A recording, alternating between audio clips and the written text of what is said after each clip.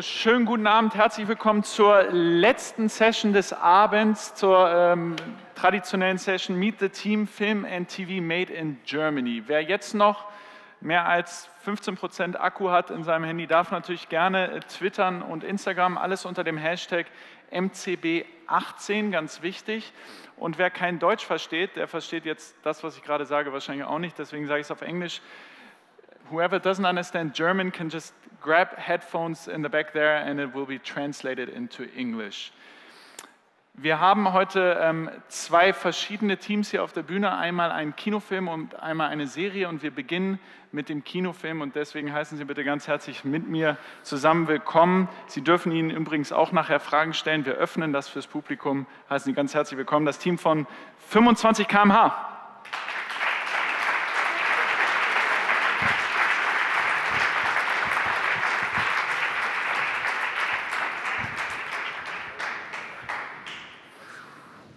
Man kennt äh, einige, Lars äh, einiger natürlich äh, kennen wir, aber ähm, wir müssen dich auch vorstellen, Oliver Ziegenbalg, Produzent und Drehbuchautor.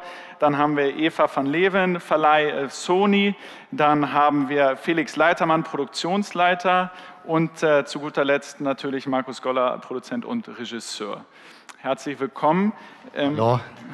Ja, kann man noch mal klatschen. Hallo. Und Bevor wir ähm, über den Film reden, vielleicht gucken wir uns erstmal einen kleinen Trailer an, dann wissen wir, worüber wir reden.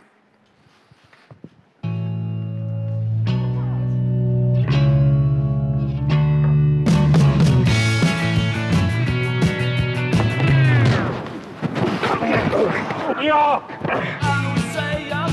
Verheiratet? Nee. Kinder? Nee. Schwul? Hier ist die Karte. Gibt es die Muffas eigentlich noch?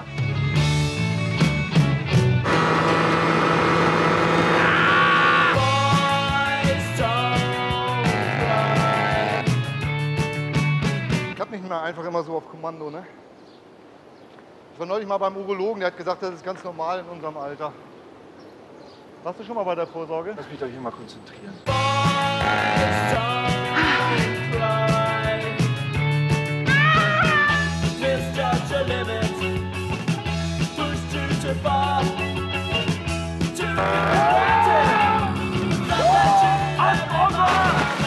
Das macht dann 15 Euro für jeden von Ihnen für das Fahren ohne Helm. Wir müssen Sie darauf hinweisen, dass Sie ab jetzt Ihre Kraftfahrzeuge schieben müssen. Wie bitte? Ja, Sie haben schon richtig verstanden. Sie schieben Ihre Kraftfahrzeuge, bis Sie sich Helme besorgt haben. Sie können uns doch hier nicht schieben lassen. Wir sind mitten in der Pampa. Sind wir ja morgen noch unterwegs. Doch? Mal ganz im Ernst, wie wollen Sie das kontrollieren, ob wir schieben oder nicht, wenn Sie weg sind? Wollen Sie uns bis zur Landesgrenze eskortieren oder was?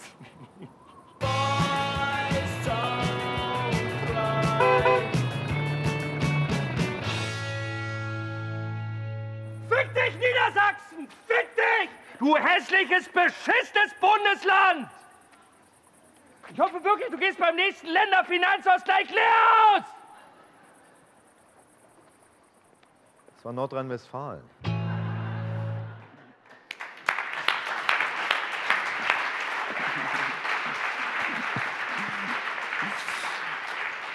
Das macht schon äh, sehr viel Lust auf mehr. Ähm, wir wissen also, zwei Brüder gehen auf einen äh, Roadtrip. Äh, was passiert da? Kannst du das noch mal so ein bisschen einordnen, was wir gerade gesehen haben? Okay, also ähm, auf der Beerdigung ihres Vaters treffen sich zwei Brüder nach 30 Jahren zum ersten Mal wieder.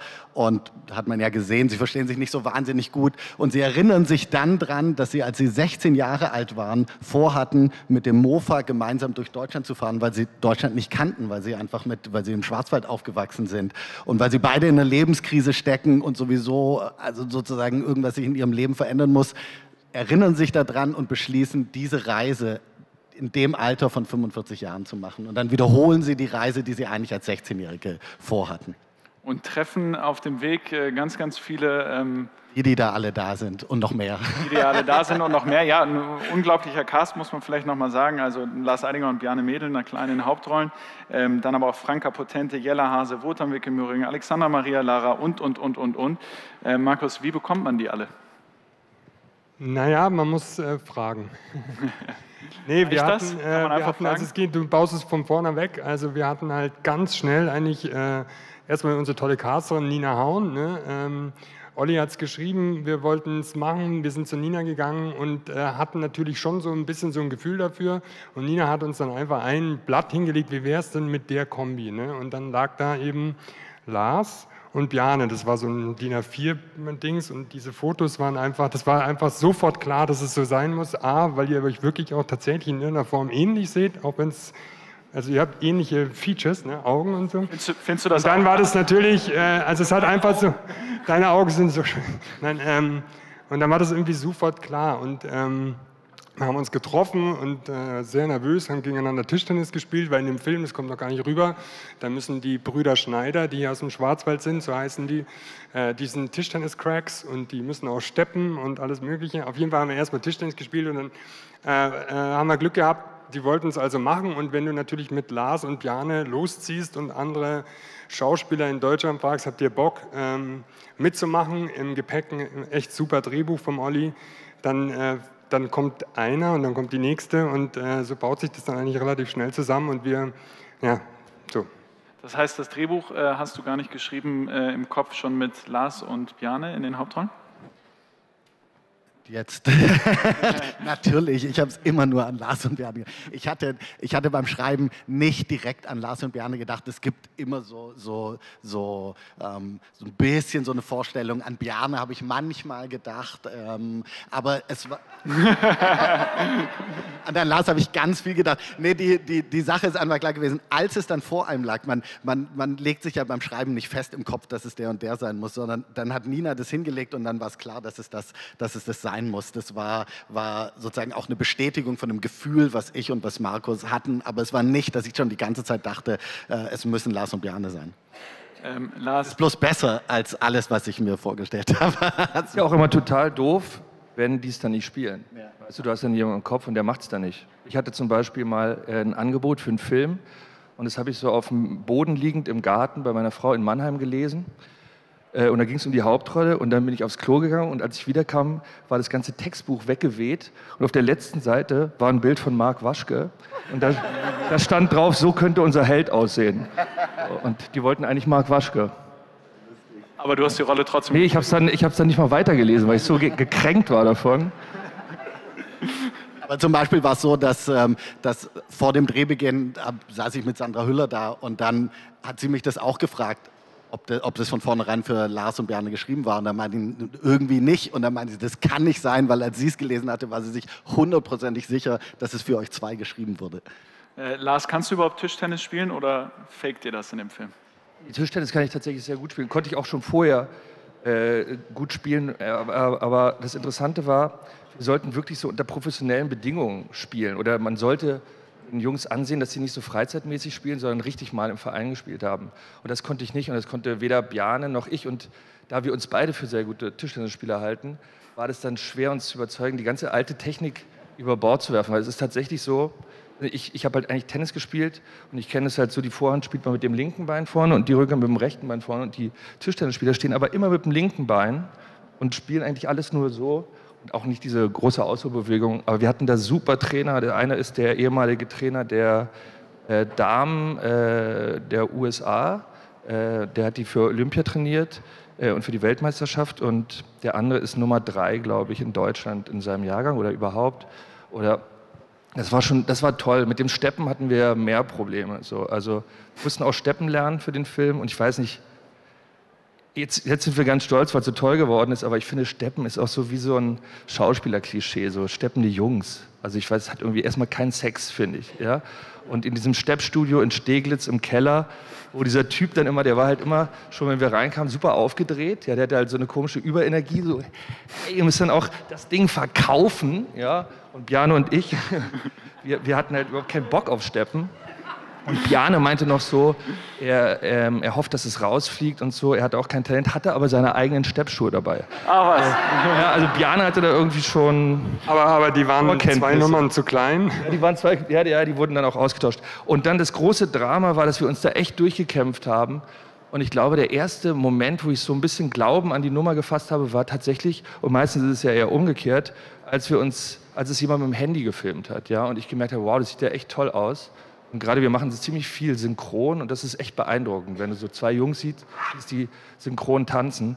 dann war aber das große Drama, äh, dass wir diese Nummer ewig vorbereitet haben, ewig äh, trainiert haben und dann haben wir das gedreht und an dem Abend äh, im Schwarzwald auf so einem angemieteten Platz, wo so eine Bühne aufgebaut war, hat es die ganze Nacht in Strömen geregnet. Ja? Und wir konnten eigentlich immer nur so diese Mini- äh, Löcher nutzen, wo es gerade mal nicht geregnet hat.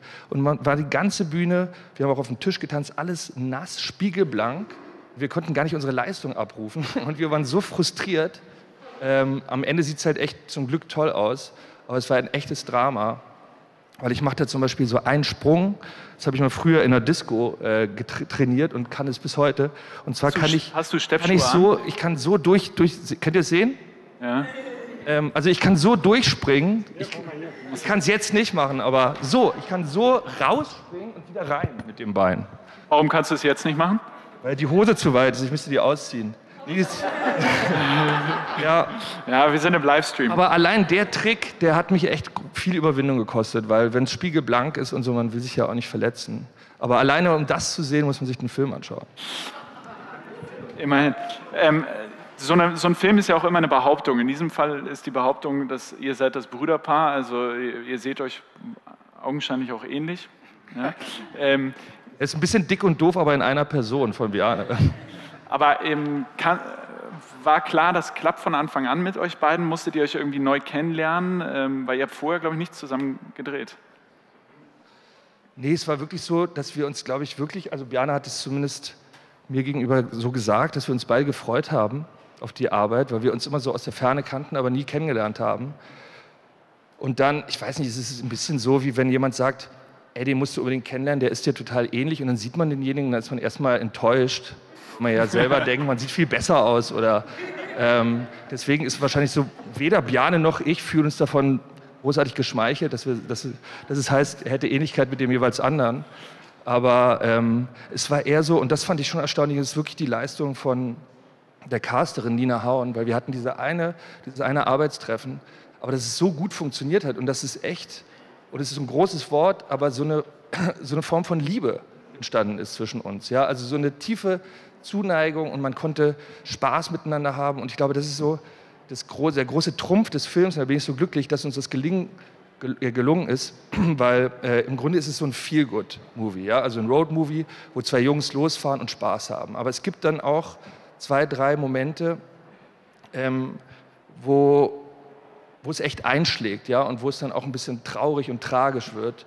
Und ich habe so das Gefühl, das ist erstens so der Trumpf von guten Schauspielern ähm, und zweitens ähm, muss man dann einfach das Glück haben, dass man zwei findet, die sich einander vertrauen, ja, und wo das dann geht und die das zulassen. So, und dadurch bleibt der Film nicht oberflächlich, sondern ist dann ab einem gewissen Punkt auch richtig tiefgründig.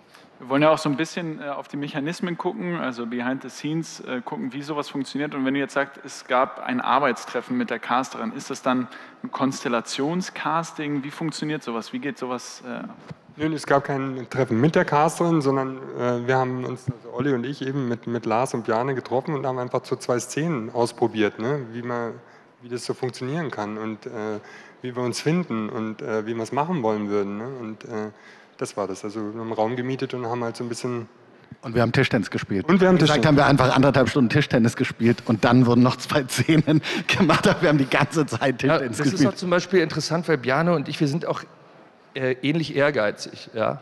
Und es war schon gut, sich zu treffen und Tischtennis zu spielen, weil jeder natürlich unbedingt gewinnen wollte. Ja? Und wer weil man aber gewonnen? auch Wer gemerkt ist der hat, Bessere? Was? Äh, Markus, Markus und ich, ich. ich bin besser, viel, viel, viel besser. Die Frage Viel, war viel nicht, besser. wer ist besser zwischen Lars und Bjarne, sondern sind Lars und Bjarne gemeinsam besser als Markus und ich. Ah, wir waren uns ziemlich sicher, dass wir gewinnen werden, weil ich auch dachte, dass ich ein guter Tischtennisspieler bin, wusste aber nicht, dass die so ehrgeizig sind, dass die mussten gewinnen. Das war so klar, dass die es nicht locker Ich gelassen finde es nur haben. interessant, auch vor dem Hintergrund, dass Markus hat mich neulich beim Synchron gefragt, sag mal, äh, legst du eigentlich Wert darauf, dass dein Name als erster da steht bei dem Film? Und dann habe ich gesagt, ähm, ja, eigentlich schon, ja. Und da meinte Markus, ja, das meinte Bjane auch. Ja. Ich finde es halt gut, wenn man so offensiv damit umgeht. Es wäre doch Quatsch jetzt zu sagen, ist mir egal. Also, es ist übrigens auch noch nicht entschieden. Ich weiß gar nicht, wie wir es... Ich wollte gerade. Müssen wir gleich noch drüber reden. Müssen wir am Ende Tischtennis drum spielen oder Markus, so. wie Obwohl, wird dann, sowas, dann wie wird sowas entschieden? Das wird dann schon entschieden. Wir, wir, wir reden ja ganz offen miteinander und äh, jetzt kommt dann die nächste Runde. Okay, ich merke, es ist eine. Wir haben so eine Marktforschung gemacht. oh Gott. Ähm, Oliver und Markus, das ist, wenn ich richtig informiert bin, die, die erste Zusammenarbeit oder die erste eigene Produktion eurer Genau. Produktionsfirma. Die, ähm, warum habt ihr das gemacht? Also es ist erstmal ziemlich selten, dass man ein Buch entwickelt ohne eine Produktionsfirma. Das, eigentlich ist es in Deutschland so, es gibt eine Produktionsfirma, die hat Autoren, mit denen sie zusammenarbeitet, dann haben die eine Idee oder der Autor eine Idee und dann macht man das, weil man ja bezahlt werden will. Und so ein, so ein Entwicklungsprozess dauert Zeit und wenn man dann gar nichts dafür bezahlt kommt, denkt man sich, wäre ja schon gut, wenn eine Produktionsfirma da ist. In dem Fall war es aber anders, weil ich in Sri Lanka am Strand saß und irgendwie Zeit hatte, mich aber irgendwie auch gelangweilt habe und dachte, ah, diese Idee, die gab es ja schon mal. Und dann fing ich einfach an zu schreiben.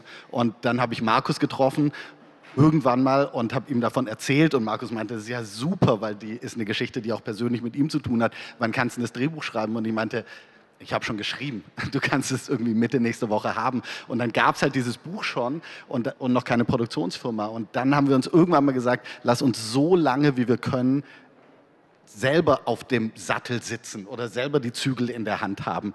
Und irgendwie wurden wir dann nie sozusagen runtergedrängt. Es war immer so, dass wir irgendwo hinkamen und uns die Leute gefragt haben, der Verleih zum Beispiel, ähm, wer ist denn der Produzent? Und wir haben dann gesagt, na ja, irgendwie dachten wir vielleicht so. Und dann, bis wir dann rausgekommen sind, vielleicht wir und alle immer so, okay, ist ja ganz, ist ja super. Und dann ist uns so aufgefallen, dass es offensichtlich geht. Wir haben uns bloß ganz, ganz, ganz viel Hilfe geholt, weil von Co-Produzenten, von Leuten, die Erfahrung hatten, die uns da beraten haben oder die uns ähm, mit den Zahlen geholfen haben, weil es gibt bestimmte Dinge, die können wir einfach nicht. Die kann man nicht auch einfach so aus dem Hut zaubern.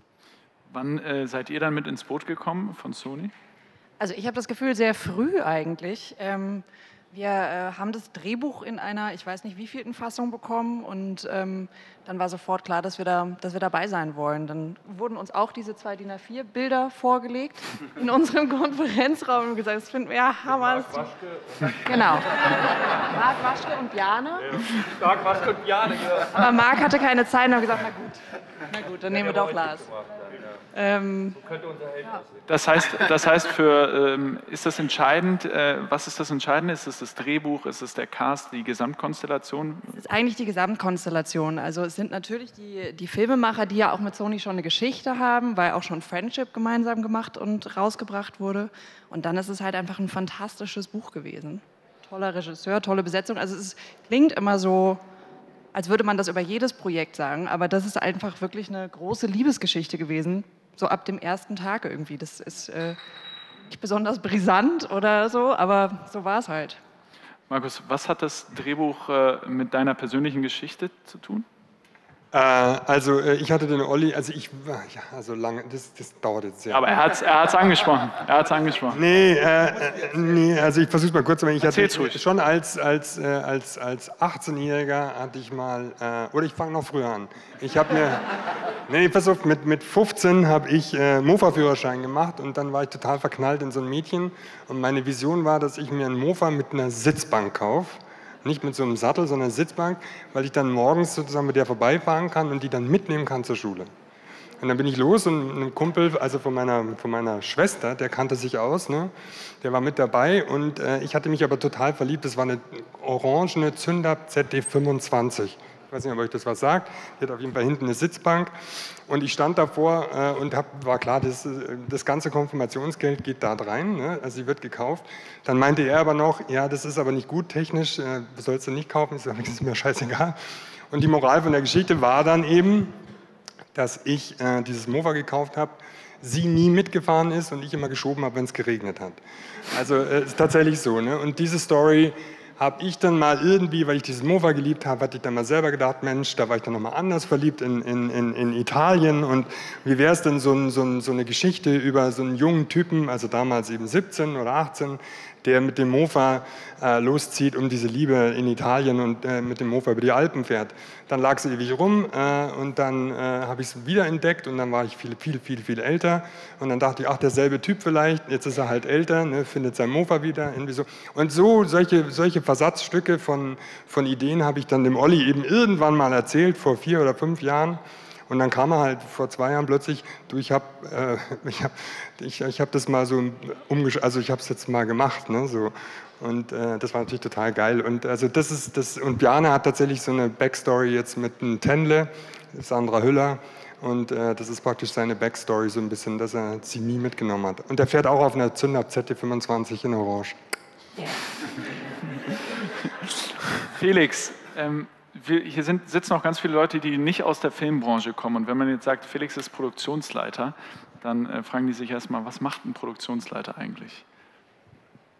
Na, ich bin für die ganzen Geschichten da, die eigentlich nicht so spannend klingen. Ich bin zum Beispiel dieses kleine Element, dass wenn man im Regen steht mitten in der Nacht, den Produzenten ausrechnen kann, was es bedeutet, wenn man ähm, um halb vier abbricht und nicht erst um halb sechs und stattdessen noch einen Tag dranhängt oder sagt, ah, wir machen das doch ganz viel anders. Also ich kümmere mich im Endeffekt um die Details. Wann komme ich rein? Die Produzenten brauchen irgendjemanden, der das Drehgeschehen betreut. Ich würde mich da als den Angelpunkt in der Durchführung bezeichnen.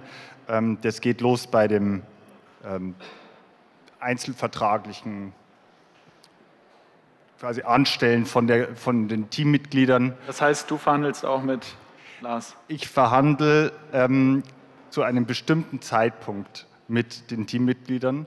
Ähm, es gibt immer das Package. Mit dem Package geht man zum Verleiher. Das Package sind die, die wichtigen Leute. Da gehört ein manchmal angestellter Regisseur dazu, da gehört ein Auto dazu, da gehören die wichtigen ähm, Hauptrollen dazu. Und ähm, dieses Package ist nicht äh, mein Handlungsbereich. Äh, Alles, was danach kommt, ist quasi eine Größenordnung, die man dann, ähm, äh, um die ich mich dann äh, kümmere. Kamera, Kameraassistent, mhm. Bloader, da kommen 60 Positionen, die verhandelt werden müssen. Das macht alles Felix. Ja, und dann musst du natürlich äh, also die ganze Zeit gucken, dass das Geld, was wir jetzt gesagt haben, was das jetzt kosten soll, da gibt es einen KV ne, sozusagen und Felix muss eigentlich dauernd wissen, äh, sind wir noch im Budget oder nicht. Er muss also die ganzen Sachen ständig äh, kontrollieren eigentlich, beziehungsweise sehr kreativ, ist ein, ich finde es einen wahnsinnig kreativen Job, weil man wahnsinnig toll mit Menschen sein muss, während man im selben Moment sagt, das kriegst du nicht. und das ist eigentlich die größte Kunst bei der Sache, weil es gibt eben Produktionsleiter, die machen das knallhart und dann muss man das auch so schlucken und dann sind sie meistens die Buhmänner, sehr oft sind Produktionsleiter die Buhmänner und äh, beim Felix ist es anders, wie ihr euch vorstellen könnt. Ich begreife mich da auch anders. Es ist im Endeffekt so, dass äh, wir haben, die Produzenten haben sich angestrengt, dass sie so und so viel Kohle an den Start kriegen. Und im Endeffekt können wir sagen, wir sind total frei, wie wir das ausgeben. Ähm, aber wir wissen, dass bestimmte Entscheidungen bestimmte Konsequenzen haben. Und dann, wenn man was, die eine Sache dringend will, dann muss man an der anderen streichen. Und dass man das möglichst frei jongliert, sage ich mal, um auch auf bei dem Roadmovie gerade äh, Schwankungen reagieren zu können, ähm, das ist eigentlich die spannende Aufgabe beim Tetris. Das heißt, äh, du bist dann auch hauptverantwortlich während der Drehzeit. Wie, ich stelle mir das bei, gerade bei einem Roadmovie sehr, sehr schwierig vor als Produktionsleiter. Äh, kannst du ein bisschen äh, davon erzählen? War es eine große Challenge oder wie bei jedem anderen Film auch? Also das, es ist anders. Es, das Spannende ist, dass man immer dasteht und sagt, okay, was sind die wichtigen Eckpunkte bei dem Film? Bei diesem Film war es für uns sozusagen, wir wollen diese Reise erzählen. Und was bedeutet es, um diese Reise zu erzählen, obwohl wir Fiktion machen, war es für uns wichtig, wirklich auch zu diesen Orten zu fahren, weil man das durchsieht bei allem Schein, den wir erzeugen können. Und dann haben wir gesagt, okay, das bedeutet, wir müssen wirklich unterwegs sein und sehr intensiv unterwegs sein. Im Endeffekt haben wir wie ein, also in sehr extremer Art und Weise unser Sach, äh, Sach gepackt und, und sind dann von Baden-Württemberg bis, äh, bis nach Ostholstein an die Ostseeküste gefahren und wir hatten bis zur Buchhaltung alles dabei. Das ging in dem Fall, weil wir eine sehr kleine Firma waren. Wir haben quasi nichts zurückgelassen. Olli eigentlich äh, war als Produzent dabei. Es gab keinen, niemanden, den wir zurückgelassen haben. Wie viele Menschen sind das dann, die da auf Reisen gehen insgesamt? Na, standardmäßig waren es immer die 60 und es schwankt dann natürlich äh, nach oben bis auf 80 und so weiter von Leuten, die man vor Ort rekrutiert oder für Tage einfliegt oder so jetzt nicht zu sprechen. Super, jetzt äh, haben wir die Möglichkeit. Ja, klar. Weil mich das so schwer beeindruckt hat, dass der Felix am, am ersten Tag gibt es immer so ein Warm-up, da trifft man sich. Da hat sich der Felix hingestellt, das habe ich noch nie erlebt. Und da stehen, sitzen alle 60, na nicht alle, aber doch, doch, doch alle 60 Teammitglieder sitzen da und dann hat er jeden Einzelnen mit Namen vorgestellt und was der für eine Funktion hat. Das fand ich schon, und ich glaube, sowas macht sich am Ende echt bezahlt, wenn die Leute sich dermaßen gemeint fühlen ja, und wissen, äh, ähm, dass man sie kennt und dass man sie mit Namen weiß. Die meisten Schauspieler, die ich kenne, die kennen vielleicht den Namen vom Regisseur und äh, von der Maskenbildnerin. So. Und das, also es hat mich schwer beeindruckt. Ich glaube, es macht echt viel aus. Und das vergisst man ja oft am Ende von so einem Film, wie, wie sehr so eine Atmosphäre noch in das reinspielt, was dann am Ende auf der Leinwand zu sehen ist. Du wolltest dazu noch was sagen? Ich wollte bloß sagen, dass er es geschafft hat, diese 60 Namen in ungefähr sieben Minuten mit Funktion vorzustellen. Das war wie aus, man dachte, wie kann er den Text so fehlerfrei, so durchbrettern, lustig und informativ. Das, obwohl ich normalerweise stottere. Ah, ja. Also jetzt haben Sie die Möglichkeit, Fragen zu stellen. Wir haben Mikrofone im Saal. Ähm, einfach nur die Hand heben und äh, dann kommt das Mikrofon äh, zu Ihnen. Gibt's, traut sich schon jemand?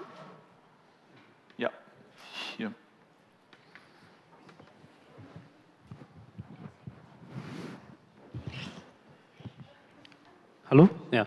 Äh, guten Tag, mein Name ist Oliver Burkand, ich bin selber Regisseur und ich wollte fragen, ähm, wie habt ihr es geschafft mit so einem, das klang so wie Passionsprojekt, so würde ich mal sagen. So. Ähm, und wie schafft ihr es mit so einem äh, Passionsprojekt und dann gerade nochmal irgendwie mit keiner Produktionsfirma dann bis zu Sony zu geraten? Also wie habt ihr euch selber jetzt den Erfolg klären können? Naja, also ähm, das war zwar eine, eine, eine, frische Produktionsfirma, aber der Olli und ich, wir haben halt schon ein paar Filme auch gemacht gehabt vorher und wir hatten eben einen auch mit Sony zusammen gemacht. Den haben wir zwar nicht produziert, aber Olli hat geschrieben und ich habe Regie gemacht, das war Friendship. Und das war das mit, mit Matthias und Friedrich Mücke, äh, zwei Ossis quer durch Amerika. Das war sehr erfolgreich seinerzeit und wir hatten eben auch schon eine gute Zeit und eben... Ähm, ich weiß auch nicht ehrlich gesagt, wie das so kommt.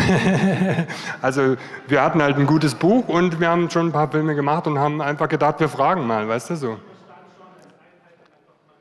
Ja klar, also Olli und ich waren halt äh, sozusagen und das Buch und dann sind wir mal losmarschiert. Das war eben, das war jetzt nicht groß geplant. Wir wollten einfach nur mal gucken, was passiert. Bitte? Ja. Aber ich glaube, man denkt immer, dass die Türen so verschlossen sind, aber dann sitzt man da mit, so okay, nein, am Ende ist es so, ihr sehnt euch auch nach Büchern. Wenn ein Buch kommt und das Buch super ist, dann ist, dann ist das gar nicht so eine wahnsinnige Rolle. Natürlich spielt es irgendeine Rolle, ob jemand noch nie was gemacht hat oder nicht. Aber erstmal zählt die Idee des Projekts und wie man sich das vorstellt und dann das Buch oder wer das alles spielen sollte. Und wenn das in irgendeiner Form fett ist oder Sony interessiert, dann ist da die Tür offen, würde ich sagen.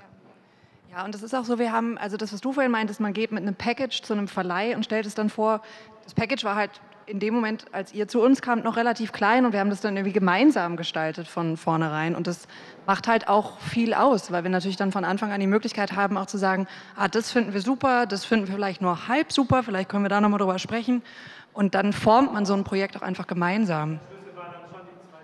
Wir müssen einmal aufs Mikro warten, sonst äh, versteht man dich auch nicht im Stream. Ja, das. Äh, ja, äh, oh. Stimmt, du hast recht.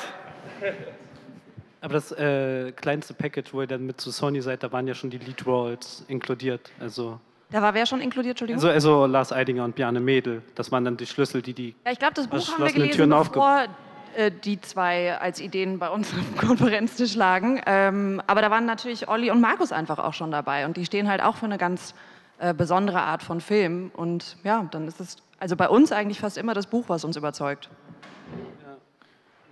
Markus und Olli, ihr habt, äh, ich glaube, fast alle Filmförderungen, wenn nicht alle, äh, in Deutschland bekommen. Ähm, jetzt muss die, man, auf der Reiseroute waren, genau. Die auf der Reiseroute waren, genau. Das muss man vielleicht erklären. Ähm, man dreht dann auch an den Orten, wo man Filmförderung bekommt.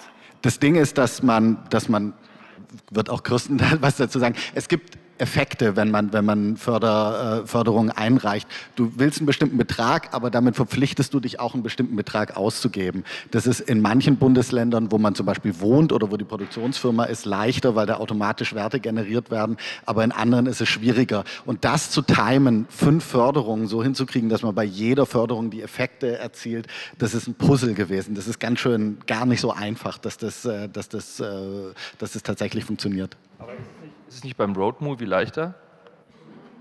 Ja, frag mal den Felix, wie leicht es gewesen ist. Man fährt dann einfach in den Bundesländern vorbei. Die, äh, Stimmt, aber wie viel Geld gibt man dann da immer aus? Das ist so, am Ende ist sozusagen sind Reisekosten und Hotelkosten gar nicht so, so unglaublich viel. Also mit, mit, wenn du 100.000 bekommst und dann aber dort niemanden hast, der so als Funktion herkommt und du musst das alles über Reise und, und Hotelkosten ausgeben. Du gibst nicht 300.000 in, was weiß ich, Nordrhein-Westfalen aus, wenn du dort drei, vier Tage drehst. Zumindest wir, wir haben nicht so gewohnt, dass wir das da ausgeben. Und dann muss das auf eine andere Art und Weise gemacht werden. Das, ähm Gibt es noch Fragen aus dem äh, Publikum? Wenn nicht, dann ja, wir haben hier vorne noch eine und dann noch die und machen wir so. Ich habe eine Frage, ähm, wie fix ist so ein Drehbuch, wenn man in den Dreh reingeht? Und welche Rolle spielt dabei der Schauspieler noch, wenn er so ein Drehbuch liest? Hat er noch Einflussmöglichkeiten? Verändert sich ein Drehbuch noch während der Arbeit? Soll das der Regisseur oder der Autor beantworten? Es gibt so unterschiedliche Perspektiven darauf. oder der Schauspieler beantwortet das, genau. Nee, also wenn du, also klar, du hast ein fixes Drehbuch auf jeden Fall. Äh, wenn du in den Dreh reingehst, dann ist es tatsächlich so, kommt aufs Projekt an. Bei dem Projekt war es auf jeden Fall so, dass wir uns ziemlich genau dran gehalten haben, weil es einfach zu gut war. Ne? Also Lars, du fand also, ne, zum Beispiel, also die, ganz oft ist ja auch so, also bei mir zumindest vorher auch, dass man bestimmte Dialoge dann nochmal selber anpasst auf die Haltung der Rolle, wer das auch spielt, damit es sehr authentisch rüberkommt. Das heißt, du behältst den Inhalt, aber du wirst dich vielleicht anders ausdrücken. Bei uns war es jetzt aber so, ne, dass du, du kannst ja vielleicht mal äh, sagen, dass die Lines, die dann so waren, also Ollis Dialoge, die sind dann auch genau so, wie sie da stehen. Ne? Und äh, also du gehst sehr fix mit so einem Buch eigentlich. Bei uns jetzt äh, sind wir da reingegangen und wir haben aber dann, äh, ja, ne, oder? Ja. Ja, ich, also da arbeiten alle Schauspieler eigentlich anders, ja. Oder es gibt dann gewisse Regisseure, die einem da mehr oder weniger Freiraum einräumen. Aber ich glaube, bei Björn und mir war es so, dass wir sehr an den Autor glauben, ja. Und dass ich bei, bei Shakespeare sage ich auch nicht, ja, das sage ich dann irgendwie so, wie ich das halt sagen würde. Ja, da sage ich ja auch nicht. Ich muss irgendwie.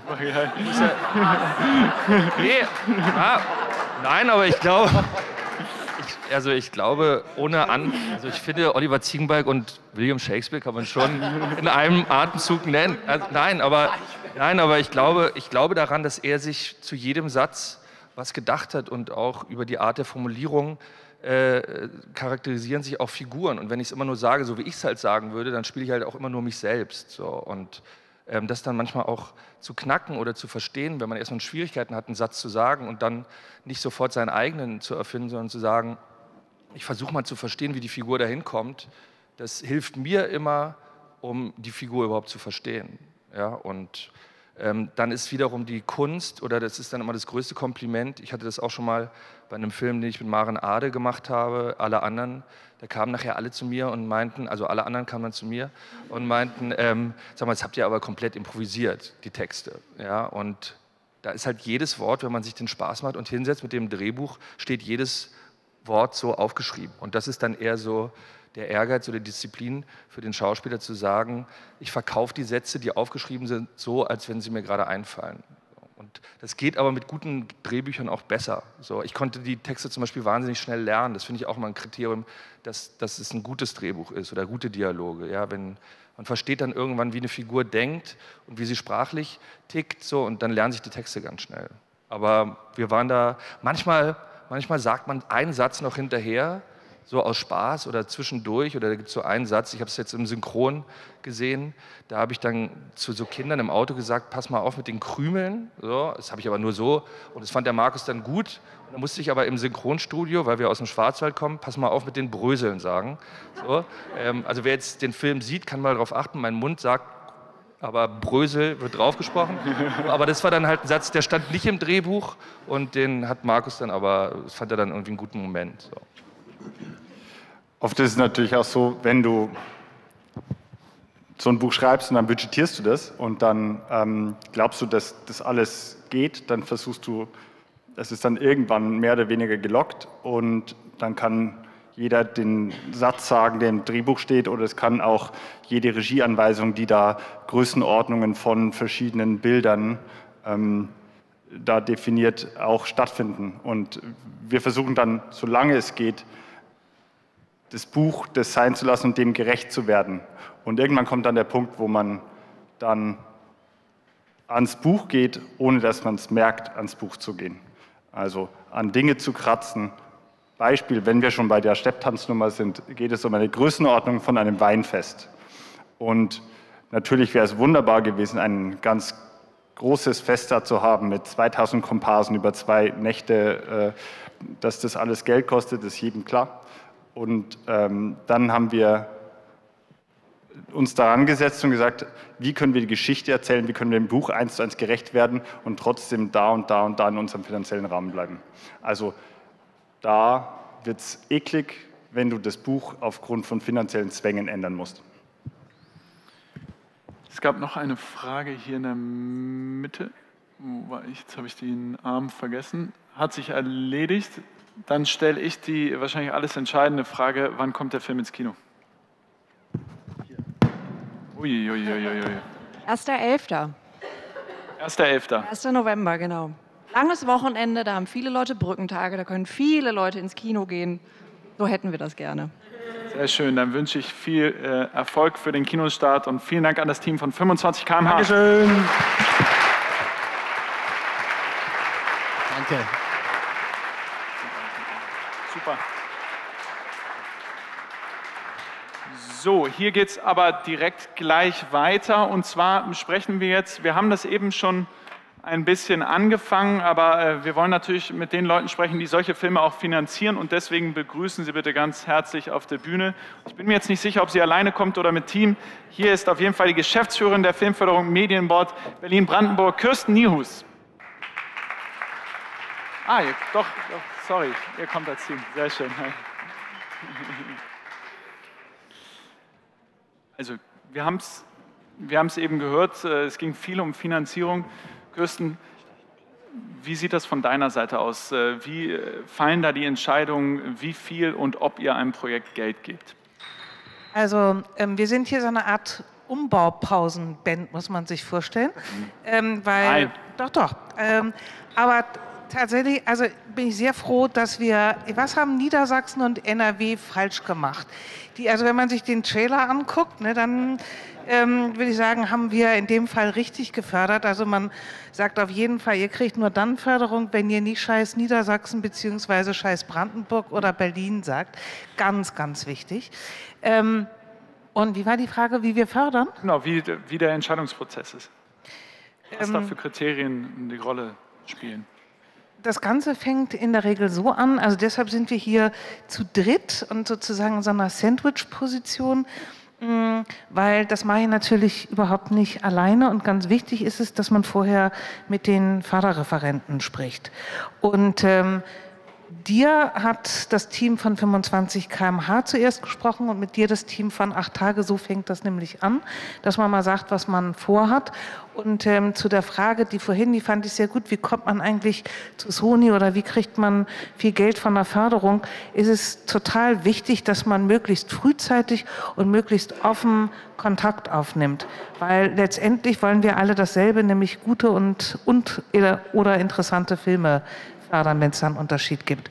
Ähm, und nach diesen Vorgesprächen beschäftigen wir uns sehr intensiv mit dem Package. Und ähm, ich glaube, als wir das erste Mal davon gehört haben, waren es doch noch Till Schweiger und Matthias Schweighöfer, oder? Also ähm, das, deshalb haben wir das eigentlich gefördert von Lars Eidinger und Bjarne Mädel. Das war sehr erstaunt jetzt da in dem Trailer. Nein, Spaß beiseite. Tatsächlich waren es von Anfang an die beiden und haben uns ähm, das hat uns total überzeugt, einmal von der Besetzung her, aber natürlich auch das Buch. Wir haben auch viel schon miteinander zu tun gehabt. Und dann, wie sieht das wirklich aus behind the scenes bei der Förderung? Ähm, wir sitzen meistens, also wir sitzen viermal im Jahr über Förderanträgen. Davon dreimal im ersten Halbjahr. Also das geht dann Schlag auf Schlag zwischen Antragseinreichung und Förderentscheidung liegen etwa sechs Wochen. Und in diesen sechs Wochen müssen wir so etwa 60, 70 Drehbücher lesen. Und ähm, deshalb haben wir ein ganz gutes Training da so beim Lesen. Und man merkt eigentlich auch, ähm, welche Sachen als Geschichte erstmal schon mal gut funktionieren. Und dann besprechen wir uns. Ähm, zwei, drei Tage sind alle total schlapp hinterher, ähm, weil es nicht so einfach ist, aus diesen vielen Projekten eine Entscheidung rauszufinden. Das ist jetzt nur mal so der äußere Prozess. Wir ähm, gucken auch noch mal ein bisschen genereller vielleicht auf die Förderung. Also ihr fördert nicht nur Kinofilme ähm, wie 25 km/h, sondern zum Beispiel auch die äh, Serie, über die wir gleich sprechen, acht Tage. Ähm, als Außenstehender gefühlt würde ich sagen, Serien werden immer wichtiger und immer mehr. Geht das zulasten der Kinofilme oder gleicht sich das aus? Wundersame Geldvermehrung. Ähm, naja, das eine, was man tut, das andere, was man lässt. Aber das Erstaunliche ist ja, und insofern würde ich das gar nicht in so einer ähm, Nutzen-Lasten-Verteilung sehen, dass ja ähm, sehr viele Kinomacher eben Serien machen. Und ähm, das ist, finde ich, schon nochmal, wenn wir über Serien sprechen, und ähm, das macht bei uns maßgeblich Veronika, allerdings auch Oliver. Ähm, ich weiß nicht, wie ihr das seht. Ähm, wir haben ja nicht mit das weiß ich, wie die das sehen. Also wir haben nicht mit Vorabendserien im klassischen Sinne zu tun, sondern wir machen eigentlich mit den Serien fördern wir Kino auf lange Strecke und natürlich gibt es eine Umverteilung. Also die Serie, die wir fördern, bedeutet, dass wir den Kino, also dass wir einen Kinofilm dann zum Beispiel nicht fördern können. Veronika und Oliver, vielleicht wollt ihr mal äh, erzählen, wie das, äh, man tritt an euch heran, ihr lest ein Drehbuch und dann, was muss dann passieren, damit ihr sagt, damit beschäftigen wir uns weiter. Naja, also als erstes muss es äh, eine gute Geschichte sein. Also ich glaube, das ist immer noch das Zentrale und Wichtige. Ich muss jetzt allerdings auch sagen, die beiden Projekte, die heute Abend vorgestellt sind, das war von Anfang an, das waren einfach gute Packages.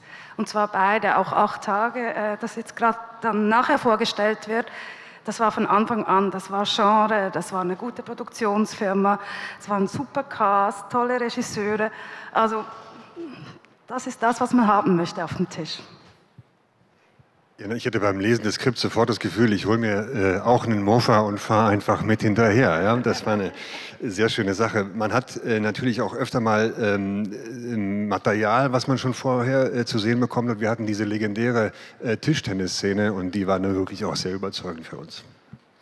Ähm, Kirsten, noch eine ganz andere Sache, und zwar, weil es gerade aktuell so in der Luft liegt, leider. Ähm, das Medienboard setzt sich auch gegen sexuelle Belästigung ein und fördert, äh, das habe ich gelesen, oder erstattet jetzt die Kosten für ähm, Harassment-Beauftragte. Ähm, was heißt das konkret? Also es gibt verschiedene Produktionen. Ich glaube, also ich habe davon das erste Mal bei einer, von einer Produktion, ähm, von, also eine deutsche Produktion, ähm, die von Netflix finanziert wird, gehört. Ich bin aber, habe es jetzt mittlerweile auch schon von anderen Produktionen gehört, dass ähm, Filmproduktionen, Firmen am Set, auf Deutsch heißen die dann Ombudsleute, also Männer wie Frauen einsetzt, ähm, bei denen sich Menschen, die sich belästigt oder herabgewürdigt fühlen. Es ist nicht nur beschränkt auf eine sexuelle Belästigung, sondern eine ähm, un ja, unwertschätzende Behandlung, könnte man vielleicht sagen, sich davon betroffen fühlen, dass die eine neutrale Beschwerdestelle haben. Also möglichst nicht der Produzent selber, in der Regel auch nicht der Regisseur selber. Und es ist interessant, wir hatten heute gerade das Treffen aller Förderer. Bis jetzt sind wir die Einzigen, die diese Kosten anerkennen. Und ich habe dann meine Kollegen noch mal gefragt, ob sie da nicht vielleicht mitmachen wollen, dass wir nicht unterschiedliche Abrechnungs ähm, Schemata haben und weil ich das nach wie vor für, eine, für ein gutes Konzept halte. Ähm, die anderen haben gesagt, sie müssten noch mal darüber nachdenken und wie man nachweisen könnte, ob der, der oder die Harassment-Beauftragte auch wirklich geeignet sei. Und vielleicht im nächsten Jahr könnten Sie das auch mal in Ihren Richtlinien ändern, aber vielleicht auch nicht das finde ich, also ich fand das sehr unbefriedigend, weil ich glaube, dass man ähm, alleine dadurch, dass man das installiert, ein Zeichen setzt, wie sehr man sich dagegen ähm, ausspricht, das ist unsachgemäße Behandlung am Set. Das gilt für alle anderen Arbeitsbereiche auch, gilt aber vor allen Dingen da. Also mir, war das, mir ist das sehr wichtig und ich würde mich sehr freuen, wenn die anderen nachziehen. Dann hoffen wir, dass die anderen nachziehen und euch vielen Dank für den kleinen Einblick. Dankeschön.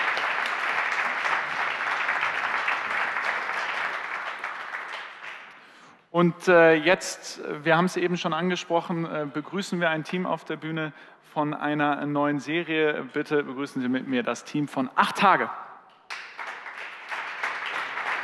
Bitte? Stellt euch einmal. Nö, könnt euch hinstellen, wo ihr wollt. Und auch hier machen wir, da, äh, wir wieder das Spiel. Wir müssen natürlich erklären, wer wer ist. Also Marc Waschke ähm, kennen wir, ähm, Luisa äh, Gaffron kennen wir jetzt bald auch, werden wir gleich sehen. Ähm, dann ähm, Florian Kamhuber, der Producer, Neue Super. Ähm, und äh, Frank Jastfelder, Director Drama Production bei äh, Sky. Und äh, dann natürlich noch der Regisseur Michael äh, Krummenacher. Habe ich ihn vergessen?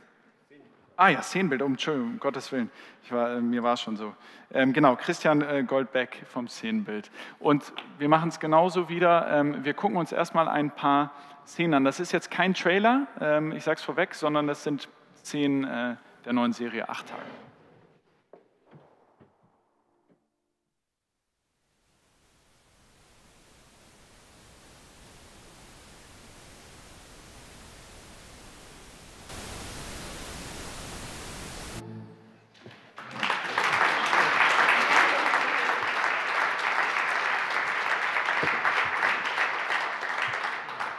Michael, wir wissen, es wird blutig, es wird ähm, tragisch, aber warum eigentlich? Was passiert da? Die Welt geht unter. Äh, genau, ähm, ein, ein, großer Komet rast auf die Erde zu und droht die Welt in acht Tagen auszulöschen, soll in Frankreich einschlagen und ähm, ist dadurch für, für Europa insbesondere verheerend. Und das ist schon ziemlich viel Grund, damit es blutig und dramatisch werden kann. Das heißt, in der Serie begleiten wir eine Familie, die versucht ähm, zu fliehen oder Unterschlupf zu finden. Um wen geht's? Es geht, im, im, Kern geht es um eine Familie. Das ist die Familie mit, mit Marc und Christiane und ihren beiden Kindern, Lena Klenke und ähm, Claude Heinrich. Ähm, aber es geht, es ist eigentlich ein, ein, ziemlich großes Ensemble. Es geht dann, dann um den erweiterten Familienkosmos, um Freunde, Verwandte, ein, ja, ein Ensemblefilm. Sozusagen. Und wir haben zwei aus dem Ensemble hier. Luisa, man hat gesehen, du schießt in dem äh, Film. Ähm, kannst du ein bisschen was über deine Rolle erzählen? Äh, naja, also es ist eigentlich ganz cool, weil es so eine Frauen- oder Mädchenrolle war, die irgendwie voll, also allein, also dadurch, dass eben bald die Welt untergehen wird, sind halt alle so ein bisschen ins Extreme und ähm, und es ist halt einfach eine Rolle, in der man, in der ich total, ich hatte super viel Freiheit darin, irgendwie, also die ist voll die voll das coole Mädel irgendwie und das halt, also ja, also, ach keine Ahnung, ich, wir hatten einfach, es war voll schön, weil man voll viel extreme Szenen, also hat man ja im Trailer gesehen, ich habe eigentlich nur Schreien und Heulen und irgendwelche krassen Szenen, was natürlich für mich als Schauspielerin voll toll ist, weil ich halt einfach, also ich habe gefühlt nur zwei Infoshots gehabt in diesem ganzen Ding und das kennen, also als Schauspieler ist ja in der Arbeit hat man oft genug irgendwie so, ja, ich laufe jetzt hier durch und da geht eine Kamera, sieht, dass ich da hinlaufe und das hatte ich halt eigentlich so gut wie gar nicht, sondern ich hatte immer irgendwas voll Herausforderndes, was für mich voll cool war und wir hatten auch auch von der Kamera voll viel Raum, also so körperlich, es gibt ja manchmal Sachen, wo man so sich sehr genau technisch und alles Mögliche halten muss. Und wir hatten voll viel Freiheit darin. Das ist natürlich einfach total toll und voll cool und hat super viel Spaß gemacht zu spielen. Aber was, was für eine Rolle spielst du? Also was passiert mit dir? Da, ohne zu spoilern, aber okay, warte bist mal, du ich in, mir mal, in der Serie? Ich, mal. Ich, bin, ich bin schlecht im Nicht-Spoilern. Ähm, also ich spiele so ein Teenager-Mädchen und ähm, ich bin eben die beste Freundin von, von der Tochter von Marx Charakter. Und ähm, und mein Vater reagiert so ein bisschen auf dieses ganze, bald geht die Welt unter, will der sich einen Bunker bauen. Und, ähm, und ich bin da eher so, reagiere eher so mit, okay, wir wissen nicht, was jetzt passiert, ich muss jetzt richtig das Leben genießen. Und das hat auch noch ein paar andere Gründe, die ich jetzt aber nicht spoilern werde. aber deswegen ist sie so äh, sehr versucht, das zu genießen, was da ist und zu leben und auf Partys zu gehen und, und irgendwie im Moment zu sein. Marc, deine Rolle reagiert wie, als er erfährt, jetzt kommt ein Meteorit und äh, die Welt geht unter? Naja, der versucht erstmal wie ein guter Familienvater die Familie zusammenzuhalten. Äh, dann ist er auch noch Physiker und ähm, kennt sich da ähm, ein bisschen aus oder meint sich auszukennen und meint die Familie schützen zu können.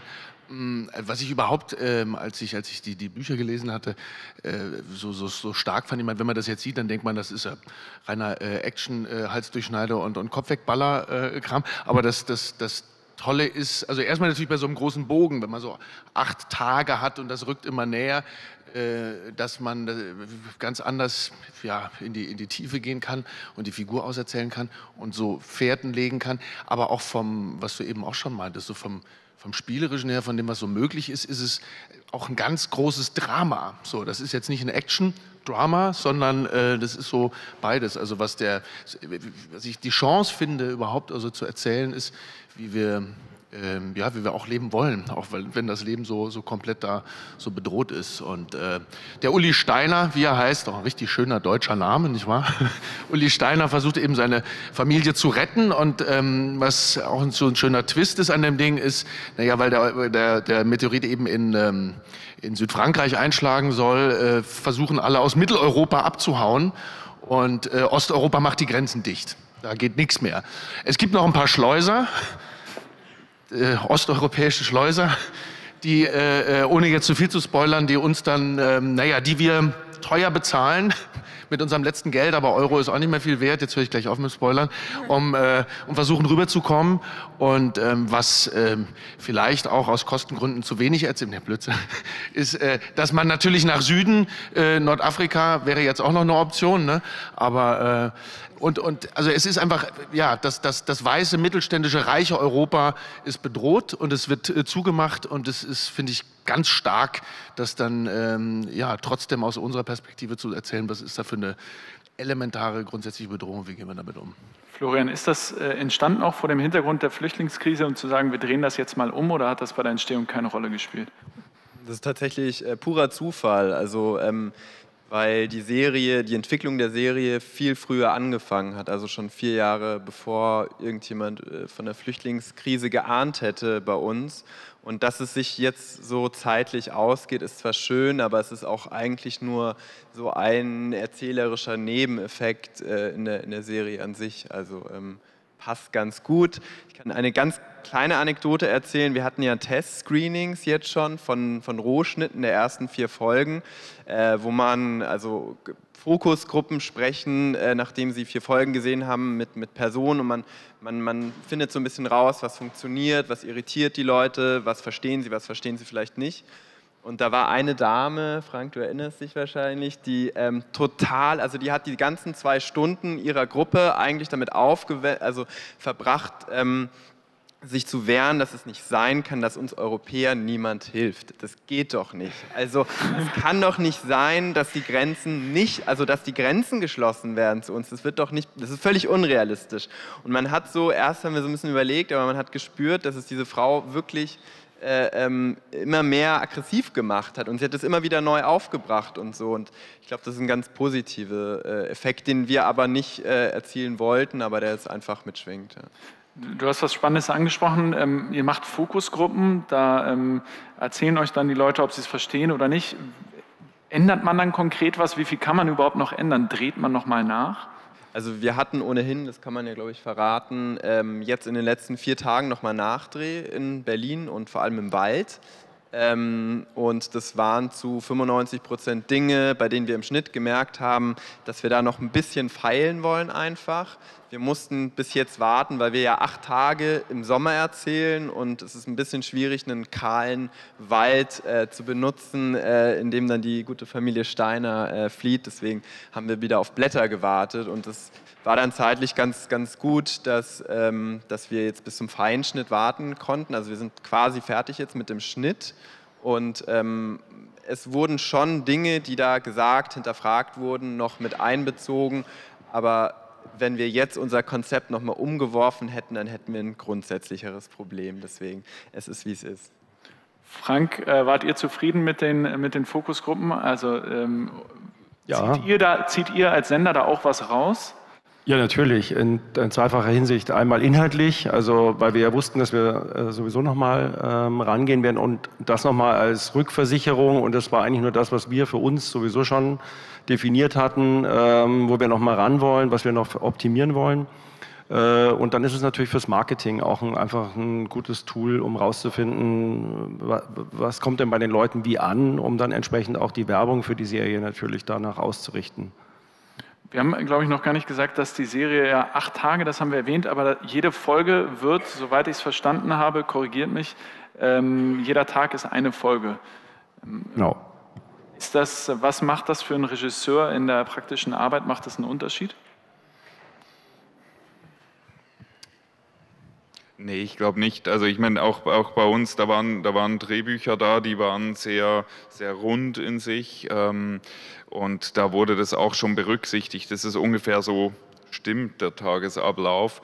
Natürlich gab es dann Sachen, die wir, die wir uns dann eher für die Umsetzung überlegt haben. Also wie, wie kommt man immer in die Dämmerung? Tageszeiten kriegen plötzlich eine andere Wichtigkeit, wenn, wenn quasi jeder Tag, der zu Ende geht, am Ende einer Folge ähm, einer, ein Tag weniger ist, bis die Welt zu Ende geht. So, also da, da, da kommen dann so ein paar konzeptionelle Gedanken mit rein, aber im Endeffekt ähm, die Arbeit, ähm, auch gerade mit den Schauspielern, beeinflusst das jetzt in dem Sinne nicht, würde ich sagen. Du hast nicht alleine Regie geführt, sondern ihr habt zu zweit Regie geführt. Wie funktioniert das? Wie muss man sich das vorstellen? Sitzt ihr da beide hinterm Monitor und sagt und bitte und der andere sagt und cut? Nee, gar nicht. Das wäre auch schön, vielleicht. Auch ein Modell. Nicht. Ähm, nee, äh, wir, äh, Stefan Rutzowitzki war, war der andere Regisseur. Und wir haben uns das eigentlich zu, zu 50 Prozent aufgeteilt. Er hat den ersten Drehblock gemacht, ich den zweiten. Das bedeutet aber auf die Folgen genommen noch nichts, weil wir haben uns das ähm, eigentlich nach Motiven, nach Drehorten aufgeteilt. Das heißt, wir haben das gedreht wie ein, wie einen sehr, sehr langen Spielfilm. Und damit gingen dann Figurenverantwortungen einher. Das heißt, wenn jemand von uns das Polizeirevier hatte, dann hatte er viel mit dem Polizisten. Ähm, der andere hatte aber den Polizisten trotzdem auch, weil der an anderen Drehorten aufgetaucht ist.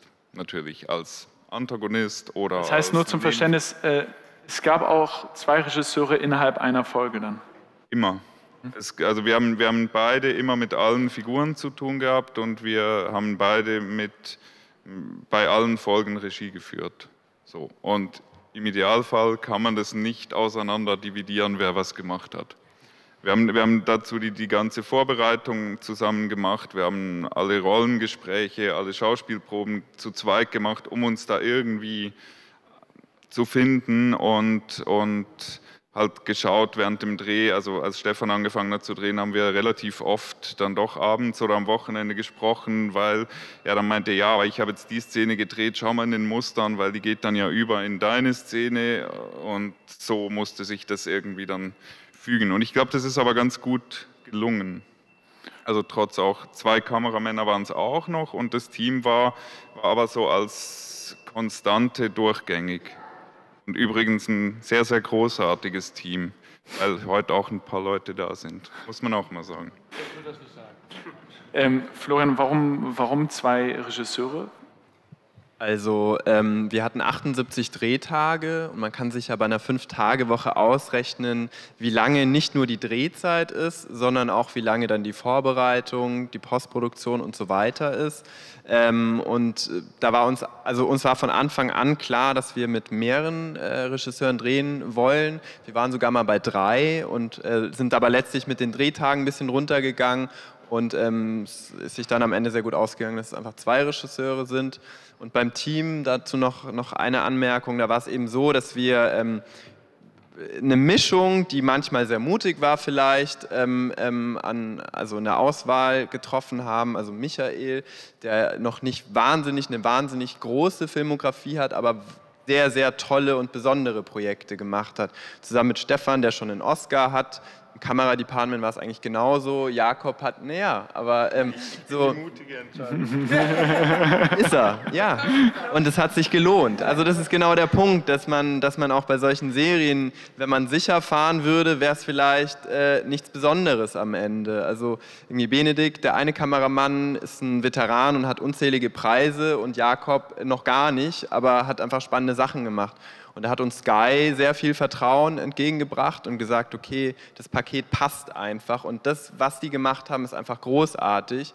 Ähm, und wir hatten zum Beispiel Christian Goldbeck als, Kameramann, äh, als Szenenbildner, der, der ähm, wahnsinnig große Sachen auch schon gemacht hat und auch bewiesen hat, dass er sozusagen nicht noch einen zweiten Szenenbildner braucht, sondern dass er den gesamten Zeitraum auch stemmen wird und dafür ähm, beispielsweise garantieren kann, dass so eine künstlerische ähm, ähm, Einheit in dem Ganzen steckt. Weil das ist natürlich die Gefahr, wenn zwei Teams was machen, dass es am Ende aussieht wie zwei Filme oder zwei Serien oder so. Und das wäre ein bisschen schade gewesen.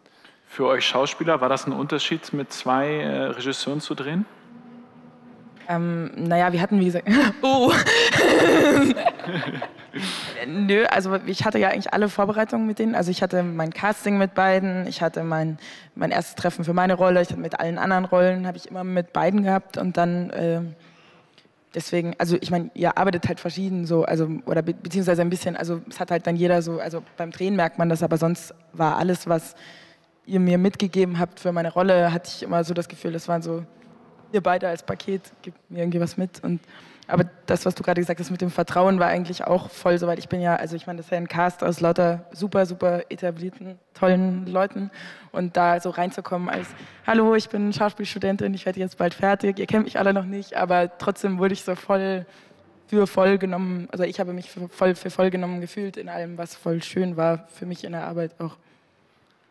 Also ich, äh, ähm, äh, bei, bei, so, bei so großen Dingen oder, oder andersrum, bei, den, bei so den, den, den, tollen Vorbildern, sowas wie The Wire, was für mich immer so, ah ja, so kann man doch auch äh, Fernsehen machen oder Serien erzählen, warum machen wir das nicht? Ähm, oder dann Sopranos oder die ganzen anderen Sachen, die dann kamen. Da ist ja vor allem dieses, ähm, diese Funktion also des Showrunners, ja, so, oder des, jemand, der so, ach, so auch so einen Geschmack hat oder so einen Taste, äh, als ihr eben über Christian gesprochen habt, was ich, was ich hier wo ich so gespannt war, ob das hinhaut, dass das Ding so inhaltlich wie ästhetisch so eine Wucht entfalten kann, äh, weil es dann halt doch so ist, dass viele Köche oder bei anderen Arbeiten sind das dann Redakteure, manchmal den Brei äh, verderben. Und ich muss sagen, so, so, grundsätzlich nicht verderben, grundsätzlich auch bereichern und äh, inspirieren. Dankeschön. Nein, aber, aber, aber ähm, ja, ja, warum ist das manchmal so und manchmal ist es so? Manchmal, warum ist das so, dass manchmal sechs bis acht Leute am Tisch sitzen und du hast eine wahnsinns wilde Vorlage gehabt und hinterher denkst du so, boah, ja, und jetzt ist es halt so, hm, ja, kann man machen, muss man aber eigentlich nicht. Und äh, hier bei dem Ding fand ich so irre, da hieß als, als die erste Anfrage kam, ja, äh, acht Tage, ein Komet bedroht äh, die Welt, Meteorit, und ähm, wir wollen das aber als Kammerspiel erzählen. Hieß es ganz anfangs mal, ja, okay, mal gucken. Aber ich dachte, was eine abstruse Idee, das klingt so nach RTL 2 oder der Alex wird in die Luft gesprengt und Pro7 ist live dabei oder so, ohne irgendwem hier jetzt auf den Schlips zu treten, ähm, zu wollen. Und als dann äh, die Drehbücher kamen, ich sagte, wo ist denn hier das Kammerspiel? da ist ja mehr von übrig. Äh, er hatte das so eine, eine, äh, eine ganz irrwitzige Wucht und ähm, die, die sehr inspirierend war. Und wo das sehr hilfreich war, mit, mit zwei sehr unterschiedlichen Regisseuren zu arbeiten, so rein von den menschlichen äh, äh, Fähigkeiten, Qualitäten und Möglichkeiten. Und ähm, äh, ohne jetzt zu viel zu spoilern. Und ähm, weil was das Ding, was das Ding finde ich so vor allem ausmacht, ist, äh, auch wenn man so über Realismus spricht und was will man heute für Geschichten erzählen und was erzählen wir da von uns, fragt man sich bei so einer Geschichte natürlich, naja, aber Holter die Polter, wo, das ist doch eben, wie die Frau dann sagt, das wird doch nie passieren und das ist ja so. Solange die Erde noch steht, kann man in fast in jedem Land der Welt als Deutscher irgendwo eine Botschaft gehen und man ist immer fein raus. So. Wenn das äh, äh nur schon ein Freund von mir aus Portugal macht, wird es schon schwierig und außerhalb von Europa wollen wir gar nicht drüber reden. Und äh, diese Gewissheiten mal so zu erschüttern und wie dünn ohne diese Binse zu bemühen, aber es ist ja so, dieser Firnis der Zivilisation ist äh, äh, und nicht nur, ob man, wenn man mit einer Kippa am Helmholtzplatz rumläuft, ich, man muss sich das immer noch mal vorstellen, das war nicht in Neukölln, das war am Helmholtzplatz. Oder äh, wie dünn der Firnis der Zivilisation ist an ganz anderen Momenten, wenn, wenn schack und dann schlägt das so über. Und dann wird diese Brutalität, die man so sieht, ja, muss das denn und alles so sein, ab dem Moment, wo eben man so zwei, drei Prämissen fallen lässt, ähm, ja, halte ich das alles für sehr so in uns schlummernd und äh, deswegen war ich sehr dankbar, ähm, ähm, bei dieser Geschichte mit dabei sein zu dürfen. Und äh, um nochmal zu der Regisseursfrage so zurückzukommen, weil das äh, braucht braucht sowas wie, ja, äh, eben, so, klingt immer so schlimm, wenn man so Worte sagt wie Marschrichtung oder so, aber beim Drehen ist es halt so, wir, wir starten jetzt in die Richtung durch. Ich bin sehr froh, dass das so eine ästhetisch-inhaltliche Wucht hat und ähm, hoffe, dass das bei den acht, wie lange wird es dann hinterher eigentlich sein? Acht Stunden oder weniger, ne? Das sind so acht mal 45 bis 50 Minuten. Was ja auch so geil ist, dass man sich nicht so fixiert hat damit. Christian, ähm, Marc hat schon angesprochen, die Ästhetik, du bist zum großen Teil wahrscheinlich auch dafür mitverantwortlich. Es ging so Bilder durch die Presse, ähm, Berlin Mitte, man hat irgendwie Autos auf dem Kopf stehen sehen, es war ein Riesentumult. Das ist dann alles dein Werk, richtig? Ja, das Werk von ungefähr 40 Menschen, die im Art Department arbeiten. Ähm, das, was Marc gesagt hat, das war so der Szenenbildansatz auch von der ganzen Sache, dass wir mm, uns schon überlegt haben, was macht der Mensch, wenn er nur noch acht Tage zu leben hat und wie verändern sich die Räume, wenn nur noch acht Tage da sind und wenn die ganzen Statussymbole nicht mehr wichtig sind, ja, wenn, wenn ganze materielle Dinge nicht mehr wichtig sind, dann, ähm, dann geht es halt ums Eingemachte. Und ähm, wir haben so ein Potpourri erstellt, was passiert acht Tage davor, was passiert am 7., Und es spitzt sich halt zu. Ja? Die Verwahrlosung äh, nimmt A immer mehr Raum ein, äh, bis es dann natürlich eskaliert. Das ist also, als wir gedreht haben, war auch noch gerade der Gipfel in Hamburg. Der hat uns dann so ein bisschen überrollt. Ja? Äh, wir hatten schön die Straßenkämpfe vorbereitet. Das, was in Hamburg dann passiert ist, das musste man erstmal hinkriegen in Berlin-Mitte. Ähm, ja, aber wir haben äh, da auch das öffentliche Straßenland äh, recht strapaziert. Das heißt, kannst du uns ähm, mal so ein bisschen mit hinter die Kulissen äh, nehmen? Wie funktioniert das? Ihr, du setzt dich mit deinem Team erstmal hin und ähm, denkst dir aus, das Konzept aus und, und was passiert dann? Das Konzept denke ich mir nicht alleine aus, das Konzept äh, denke ich mir in dem Falle mit zwei Regisseuren aus, was auch natürlich für mich sehr interessant war, weil das ist das erste Mal, dass ich nicht mit einer Regisseurin oder einem Regisseur zu tun hatte, sondern gleich mit zweien. Wir hatten zwar die Motive so auf Blöcke aufgeteilt, aber letztendlich ging es ja darum, erstmal eine Welt zu kreieren. Und das ging halt dann zu dritt oder dementsprechend zu fünft, ja, wenn man die zwei Kameramänner auch noch dazu zählt ähm, ein spannender Prozess, wenn wir haben uns das wirklich genau überlegt, wie realistisch wir bleiben wollen. Wir wollten sehr realistisch bleiben. Wie gesagt, wir wollen keinen Alex in die Luft sprengen. Äh, wir haben uns so von den Randlagen von Berlin, in den Vororten von Berlin immer mehr ins Epizentrum gearbeitet. Wir hatten ein relativ strenges Farbkonzept. Also es kommt außer das Blut, was man im Film sieht, äh, nicht einmal die Farbe Rot vor. Ähm, Natürlich.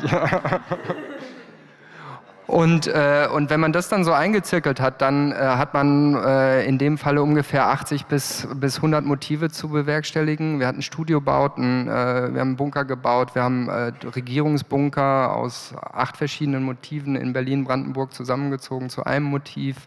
Da guckt man natürlich irgendwie, wie, wie passt das alles zusammen, ja, wo, wo steckt ähnliche Architektur in Berlin. Das funktioniert wunderbar hier. Mhm. Wir öffnen an dieser Stelle wieder äh, fürs Publikum. Das gleiche gilt wieder. Wir haben Mikrofone im Raum. Das heißt, gerne einfach äh, die Hand heben und dann kommt ein Mikrofon zu Ihnen. Ähm, und dann äh, können Sie gerne Fragen stellen. Aber Sie müssen sich wahrscheinlich noch einen Tick sammeln. Deswegen darf ich noch schon mal eine Frage vorschieben. Und zwar ähm, nochmal an, an, an Sky. Also, Frank, Neue Super ist eine sehr junge äh, Produktionsfirma. Ist, kann man sagen, es ist ein mutiger Schritt, das mit denen zu machen? weiß ich jetzt nicht. Das sollen andere beurteilen. Ähm, also haben ja schon vorher durchaus auch was gemacht. Also auch ähm, eine Serie, die zwar auf ZDF Neo äh, durchaus ein bisschen kleiner war als acht Tage vom Budget ähm, und vom Gesamtumfang. Ähm, aber die sind ja jetzt nicht einfach so von der Hochschule äh, oder frisch geschlüpft zu uns gekommen, sondern haben ja schon ein bisschen was gemacht. Ähm, es ist, also wir haben ja dann gesagt, wir suchen die Mischung aus Erfahrung und, und äh, junger Kreativität, ähm, weil wir auch gemerkt haben, äh, dass da eine andere Sozialisation da ist. Also äh, sag ich mal, kreative äh, Filmschaffende äh, unter 30, 35 sind einfach schon ganz anders aufgewachsen und, Entschuldigung, ich sage vielleicht auch nicht so versaut vom deutschen Fernsehen, sondern die haben natürlich den ganzen Serienhype der letzten 15 Jahre mehr oder weniger jetzt alle aufgesogen. Und das spürt man dann schon, dass da auch eine andere Herangehensweise ist äh, und eine andere Kreativität. Und äh, die fällt natürlich bei uns jetzt auf offene Ohren, weil wir im Bezahlfernsehen andere Möglichkeiten haben, was den Jugendschutz angeht, weil wir natürlich auch angehalten sind, etwas zu äh, produzieren, was es ja nicht schon im Free TV frei empfangbar gibt, weil die Leute natürlich sagen, wofür zahle ich denn sonst auch Geld für mein Sky-Abo, wenn ich das eigentlich dann auch ähm, auf den anderen Sendern gucken kann. Ähm, also ich weiß nicht, ob es eine mutige Entscheidung war, es war auf jeden Fall die richtige Entscheidung ähm, und es hat wahnsinnig Spaß gemacht, den Weg zu gehen. Und das waren, glaube ich, jetzt auch vier Jahre oder so, die wir äh, bis heute da verbracht haben. War für euch direkt klar, ihr geht zu Sky und niemand anderen? Fast direkt. Also ähm, davor. Netflix gab es damals noch gar nicht. Nee, es gab nicht nur Netflix, nicht so wirklich, sondern es war tatsächlich auch die Pay-TV-Serie in Deutschland nicht wirklich etabliert und auch Sky hat noch keine Original Productions gemacht und so. Und deswegen denkt man natürlich als Produzent eigentlich erstmal an Free TV, weil es tatsächlich die einzige Möglichkeit ist. Und so öffentlich-rechtlich war so, hm, eher nicht. Mal gucken mit den Privaten. Hat sich dann aber sehr schnell gezeigt, dass es auch privat nicht so ganz funktioniert, dass es viel zu viele Kompromisse bedurft hätte und dann war Sky sehr, sehr schnell dabei. Ja, aber eben nicht, ja. Und äh, eigentlich seid ihr eine Münchner äh, Produktionsfirma. Genau, Warum Münchner habt ihr in Berlin. für Berlin entschieden?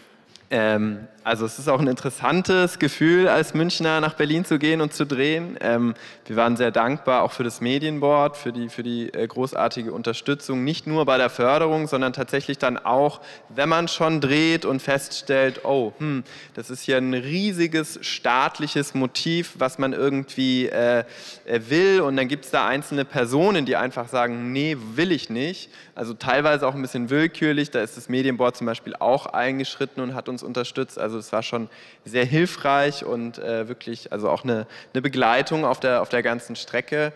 Ähm, warum die Geschichte in Berlin spielt, liegt einfach an, am Inhalt. Also wir brauchten die Nähe zur Politik, auch wenn wir eben nicht die deutsche Kanzlerin haben, die jetzt äh, äh, den, den Asteroiden umleiten wird oder dergleichen, aber es gibt eine Figur, ja, es wäre eine Herausforderung. Das ist dann in der zweiten Staffel sozusagen die andere Perspektive, Kanzleramt. Nein, ähm, wir, haben, wir haben eine Figur, die der Politik sehr nahe ist und dieses ganze politische, äh, was da noch mitschwingt, ähm, sozusagen abdeckt für die Geschichte. Und gleichzeitig wird Berlin, glaube ich, sehr ähm, selbstverständlich miterzählt. Also wir sind auch in den Vororten und so und man sieht jetzt auch den Alex leider nicht die ganze Zeit so. Aber Jetzt hast du es in deiner Antwort vielleicht äh, schon verraten. Das heißt, ich gehe davon aus, die Welt geht nicht unter und es könnte noch eine zweite Staffel geben. Also die beiden Dinge schließen sich nicht aus. Es kann eine zweite Staffel geben, aber zu ersterem kann ich leider nichts sagen. Die Erde gibt es schon noch. Das wollen wir festhalten, noch. weil es wird ja nur Europa, Europa. sozusagen komplett äh, zerstört, aber es ist der Planet als solcher ist noch erhalten und äh, es gibt durchaus Möglichkeiten, eine zweite Staffel zu erzählen. Ja. Aber bevor die zweite Staffel kommt, muss die erste erstmal fertig werden. Es wurden die letzten Tage noch gedreht. Das heißt, wann kommt die Serie?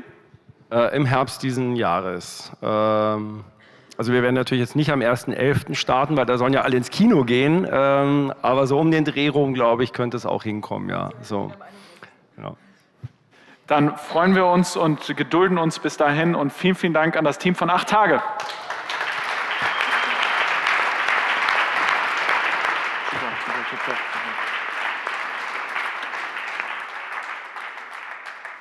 Ich sage auch vielen Dank, meine Damen und Herren. Das war der erste Tag hier auf der Media Convention auf der Bühne 6 und morgen geht es weiter, schon früh. Äh, nicht vergessen, wenn Sie drüber schreiben, Hashtag MCB18. Bis dahin, schönen Abend.